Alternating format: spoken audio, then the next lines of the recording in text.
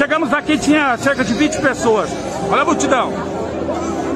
Todo lugar do mundo está acompanhando.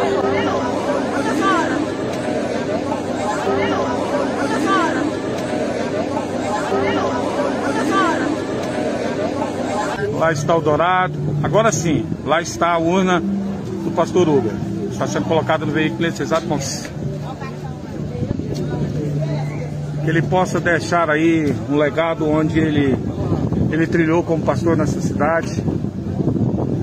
Tá aberto, é o caixão tá aberto. Aí várias pessoas da igreja querendo que abre.